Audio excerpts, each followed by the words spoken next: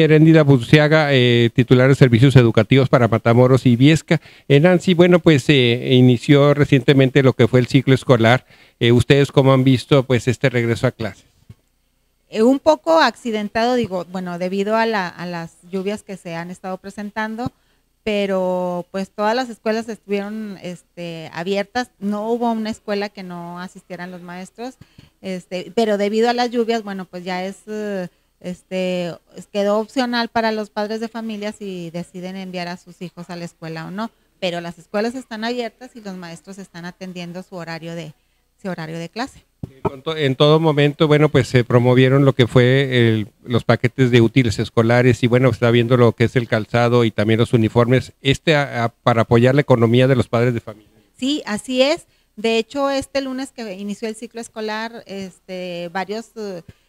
representantes, de, funcionarios representantes del señor gobernador estuvieron entregando útiles escolares en determinadas escuelas aquí en Matamoros. Fue una acción simultánea en todo el estado y aquí en Matamoros estuvieron entregando útiles y en Viesca también.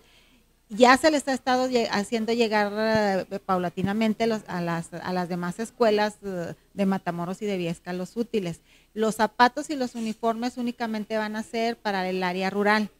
Y, y también en, de los, dentro de los, del municipio, la cabecera del municipio, este, van a estar nada más entregándose a las escuelas que están dentro de los polígonos. Entonces, este, pero estos ya se van a estar entregando probablemente el próximo lunes, se vaya a hacer otras, uh, este, como entregamos los, eh, el pasado lunes los, uh, los paquetes de útiles, es una acción simultánea en todo el estado, el próximo lunes también se van a estar entregando los zapatos y los uniformes en ciertas escuelas y a partir del de, de martes ya se harán llegar los uniformes y los, uh, los zapatos a las demás escuelas que les correspondan. Si estuvieras en condiciones de decir alguna cifra, Nancy, en cuanto a, esta, a este apoyo en especie que llegaría para las instituciones educativas. Bueno, los paquetes de útiles es en general, es desde preescolar, inicial, especial, preescolar, secundaria, primaria y secundaria. Y los, uh, como le comento, los, uh, los uniformes y los zapatos es únicamente para el área rural y las escuelas de las cabeceras de Matamoros y de Viesca que están dentro de los polígonos. Ahorita le paso igual las cifras exactas. Sí, bueno, entonces ahora con motivo de estas lluvias que no han cesado ahorita momentáneamente están detenidas, entonces bueno, la opción eh, sigue siendo eh, pues para el próximo lunes y la semana entrante enviarlos o no a los a los pequeños a las instituciones educativas, sobre todo por los problemas que se originan con el agua y pues eh, los accesos a, a, los planteles. Pues esperemos que ya no nos uh no caiga más agua, que lo que estábamos viendo ahorita en las noticias es que se, se esperan más, más lluvias eh, sábado y domingo, pero bueno, pues primeramente Dios que no, que no nos afecte tanto y pues sí, pues ya será decisión de cada padre de familia. Digo, no, el hecho de, como usted dice, de, de trasladarse de sus casas a, las escuelas, digo, sí está muy accidentado y digo, más en algunas comunidades rurales, sí está muy accidentado el, el camino como para para ya sea decisión de, los, de, de cada padre de familia llevar o no a, a, a los alumnos. Y como les, les, reitero, los maestros están en las aulas y cumpliendo con su horario de trabajo, asistan o no asistan los, los alumnos.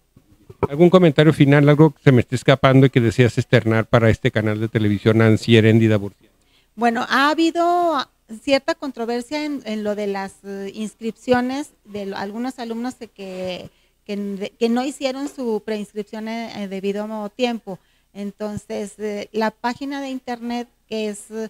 www.inscripciones.org va a estar abierta el día 31 de este, el día último de agosto, para que los padres de familia que no ah, este, pudieron o tuvieron tiempo de hacer la preinscripción de sus hijos, entren a esta página y localicen la escuela más cercana o que se a su, a su domicilio, siempre y cuando la escuela tenga tenga espacios disponibles para sus hijos y si no pues hay que estar buscando en cada escuela para que pues para que no se queden sin, sin, sin escuela.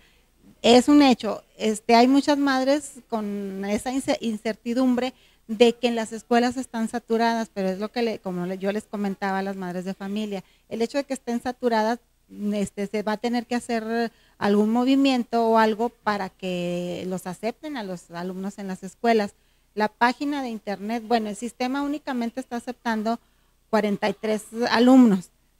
pero si quedan muchísimos fuera, pues vamos a tener que hacer algo para que, digo, para que se abra la página y nosotros podamos agregar más alumnos para que ningún alumno, ningún niño, ningún joven se quede sin escuela. De nada. Canal 2 serán dos días.